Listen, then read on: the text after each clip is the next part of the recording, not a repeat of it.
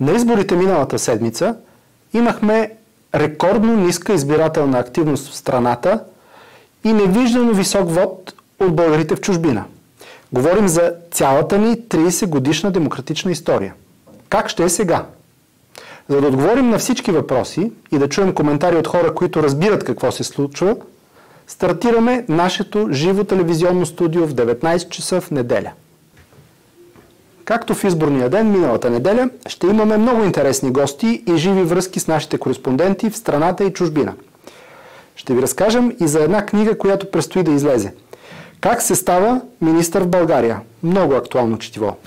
Гледайте ни от 19 до 21 часа в неделя на сайта на 24 часа и в страницата ни във Фейсбук.